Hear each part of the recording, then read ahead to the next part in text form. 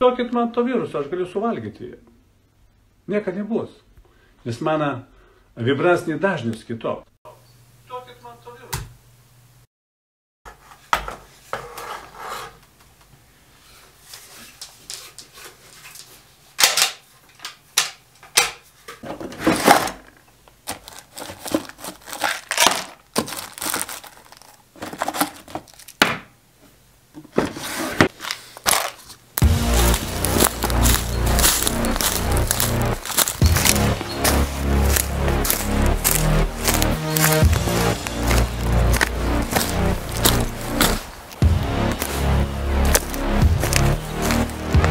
Pagalvojau, šiandien puikus oras prišaudyti man savo orinuką. Tai atėjau į mišką, kur nėra žmonių, atokiau, kad niekam netrukdyčiau, nieko nesužeiščiau, pasiėmiau už stalčiaus keletą daikčiukų, kas galėtų man tarnauti kaip taikinys.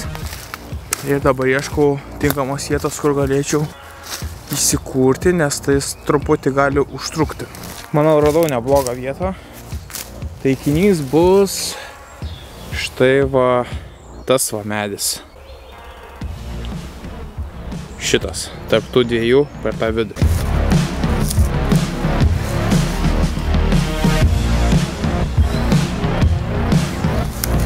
Principė, prišaudant standartinį orinį, distancija turėtų būti tarp 20-30 metrų.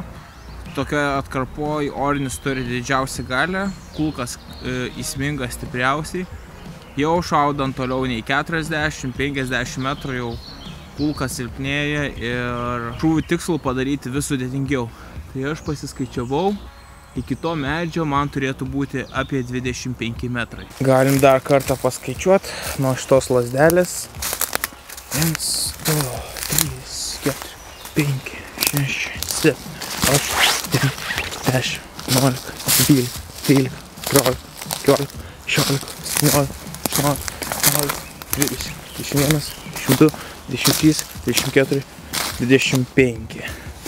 Maždaug 25 metrai ir mano pozicija bus tenais tolumoj. Einam dabar pasimsim keletą taikinukų, pasiėmiau vinukų, kokiam aukštį reikia prisikalti, kad matyčiau iš toli.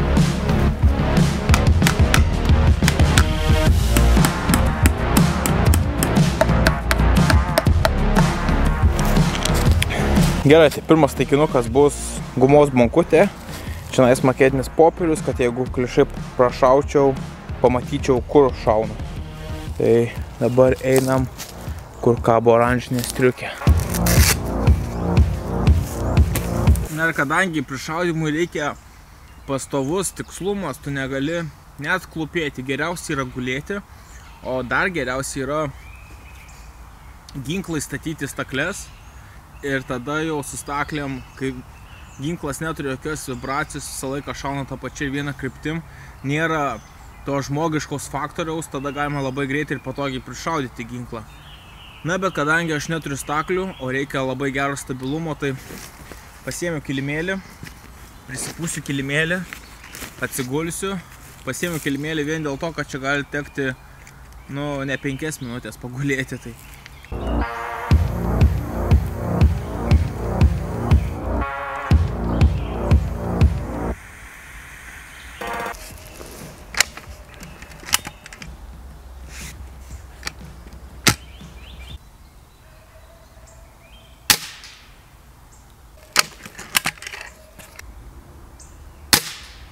Kad įsiaiškinti, kaip ginklas klišai šaudo, negalima daryti tik kas kiekvieną šūvį tikrinti, kur tu pataikai. Tai geriausia, kiek žiūrėjau, kiek kiti prišaudinėja ginklus, tai trys šūviai patikrinimas, trys šūviai patikrinimas. Ar tau reikia į kairę, į dešinę paslankioti savo taikiklį, kad pradėtum taikliau taikyti. Tai negalima kiekvieną kartą, nes visgi tu šaudai iš savo rankų, rankos kažkiek tais dreba, visą laiką yra tas netikslumas. Todėl reikia padaryti bent kelius šūvius su vienu pristatymu, pritaikymu, tada pasižiūri, ant kiek taikliai arba klišui pašauvai, tada vėl pasiko, pasikoreguoji taikiklį ir vėl šaudai. Nu ir taip jau iki tobulumo.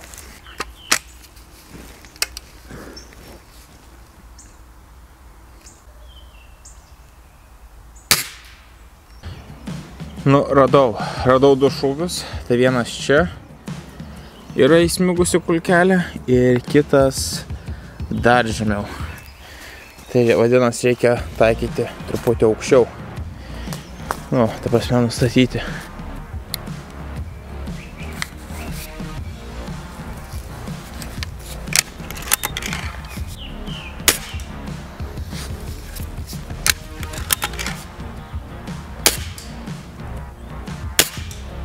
O biški nuklišinau. Yra šitas medis ir mano šūviai visi suvarpė štai šitus du kamienus.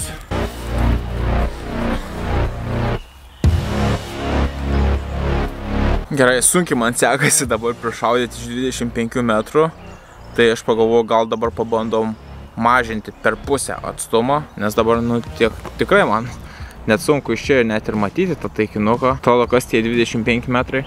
Tai bando mažinti plius minus iki 12 metrų.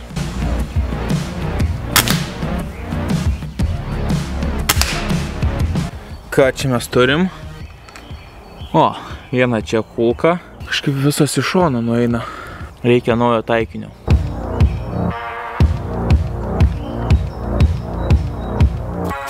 Bus truputį originaliau.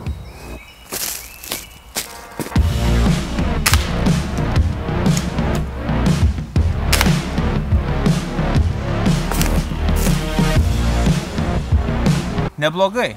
Šiaip tai taikiau maždaug čia nais. Tai reikia dar kairiau ir dar truputį aukščiau.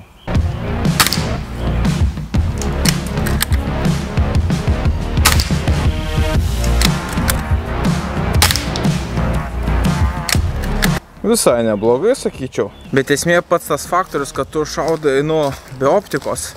Tai tas taikiklis toksai, nu, labai labai jautrus dalykas. Gali čiu-čiu tik tais atokvėpiu kažkokį padaryti ir išausi ir iš karto paklaida gali būti 5 ar ne 10 cm, ką jūs matėt. Tai nežinau net bandyti iš 25 metrų prišaudinėti, aš dabar šaudau iš čia, o pradėjau šaudyti iš tai va ten.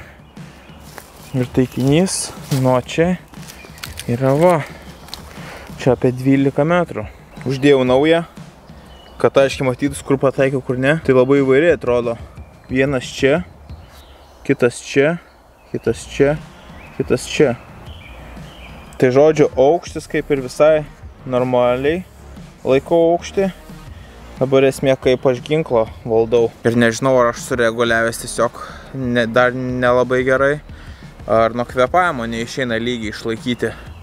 Į medį atrėmus ginklo labai gerai yra. Nes kai atrėmi į medį, iškart jau linksta tas disbalansas, tai realiai aukštį jau kaip nusistatai, belieka kiek tu vartysies, sukiosi horizontaliai tą, tą buožę. Bet jo, žinokit, Hebra neįsiu iki 25 metrų. 25 metrai turbūt jeigu e, turėčiau optiką. Tada su optika tu matai detalį visas e, detalės ir lengviau koreguotis tau visą tą dalyką. Kai čia iš akies šaudai su su tokia be optikos tai tikrai sudėtinga. Patys pažiūrėkit, nu, blembački, taškelis mažas. Taip, tai čiučiut į kairę. Vienas, du ir truputį aukščiau reikia. Vienas. Nu, bandom. O!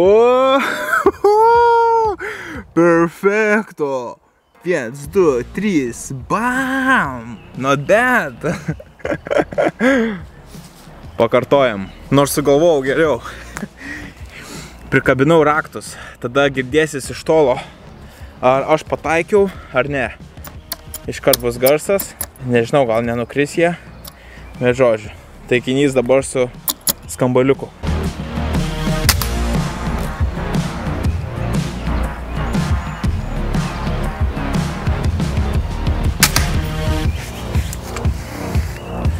Du iš dviejų. Tai va, bičiuliai, jeigu jūs norit pašaudyti savo orinį šautuvą, tai e, atsiminkite, kad jums tikrai reikės laiko.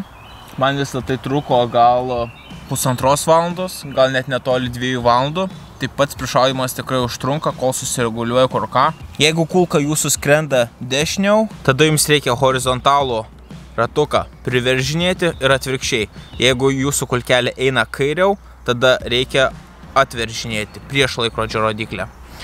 Jeigu jūsų kulka skrenda per žemai, tada šitą ratuką reikia atlaisvinti, kad taikiklis kiltų. Jeigu jūsų kulka skrenda per aukštai, tada reikia jį žeminti. Ir viskas tokios taisyklės, na ir žinoma, reikia turėti savo portretą veido. Ir labai gerai, kad turėtumėt kažką metalinio. Aš pasėmiau šiuo atveju raktus, tai tas jums duoda kažkokį skambėjimą, žinojimą, kad jūs pataikėte į tą tašką. Plus, jeigu prišaudinėjat ne iš 5 ar kažkokio artimesnio stumo, o būtent iš 15 ar 20 metrų, kai jums jau sudėtinga įžiūrėti, kur pataikėte, neturite žiūronų, bet visgi norite įsiaiškinti, kur plius minus pataikote ir kiekvieną kartą nelakstyti. Tai va, kažkokie metaliniai daiktai pakabinti yra labai gerai. Na ir žinoma, kai jau prišaudote, plius minus į jūsų norimą taikinį, visą laiką dar geriau yra uždėti dar mažesnį taikinį ir dar tiksliau prišaudyti. E, žinoma, tai tam reikės daugiau laiko, daugiau kulkų, bet jeigu yra noro, tikrai rekomenduoju tą padaryti. Kaip pavyzdys, aš pavyzdžiui prisegiau tik tais nuo buteliuko esantį kamštuką, kuris tikrai yra net mažesnis už degtukų dėžutę, na ir man nelabai pavyko jį pataikyti. Čia va pataikiau porą čia iš šoną, bet nu vis tiek nepavyko tiksliai. Tai aš jau nebandysiu tiek tiksliai prišaudinėti, nes mano kulkos jau eina į pabaigą ir jau temsta, tai reikia eiti namo montuoti vlogą. Bet visą laiką jo rekomenduoju. Jeigu prie vieno taikinio prisišaudėt, e, veidas yra gan nemažas taikinys. Nu, sakyčiau, ne, gal kaip tik. Veidas jau nėra toksai jau per didelis taikinys, pats tas, sakyčiau. Bet visą laiką galima tikslinti, tikslinti, tikslinti, tobulinti. E, žinoma, kai jūs turite optiką, tai yra tas padarimas dar patogesnis, lengvesnis ir greitesnis. Be optikos, na, truputį teks pažaisti. Taip pat tikslumai labai dar ir svarbu, su kokiom kulkom šaudot. Aš asmeniškai šaudau su tokiom smailom, bet vėlgi, jeigu jūs šaudot su vieno tipo ir po to nusprendėte pakeisti kulkos tipą į kitą, ar tai būtų plokščias ar ovalas, gali būti, kad jūsų kulka truputį skris kitaip ir bus kitas pataikymas. Tai e, rekomenduotina, kiek ir visi rekomenduoja ir sako, kad jeigu jau prišaudinėt šautuvą, tarkim, su smailiom kulkeliam, tai jau su jom ir šaudykit. Nes jeigu jau keičiat kulkas, tada jau reikėtų truputį vėl pasikoreguoti ir naujai prišaudyti šautuvą. Žinoma, gal čia nais labiau liečia tie, kurie užsiminėja varžybomis, jau žiūri šitą reikalą kaip į sportą, bet uh, tai va, mėgėjiškai, tai gal ir nebūtina čia prisišaudinėti įėmus kiekvieną skirtingą kulką. Taip pat rekomendacija jums, kad išgautumėte dar tikslesnį šūvį, atsigulkite, ginklą laikykite dviem rankom, kad būtų kuo stabilesnis ir labai gerai, kad atremtumėte medį. Dar geriau, jeigu turite arba galite pasigaminti trikojį, ant kurio pasidėtumėt ginklo vamzdį. Tada viskas gaunasi labai stabiliai ir tada žymiai tiksliau jūs ir pataikysite ir žymiai greičiau prišaudysite ginklą. Tai tiek apie mano ornį, kas dar, kam įdomu, koks šiandien ornis, tai Baikal MP54 modeliukas, jo kaina yra nedidelė, kažkas apie 140 eurų maždaug.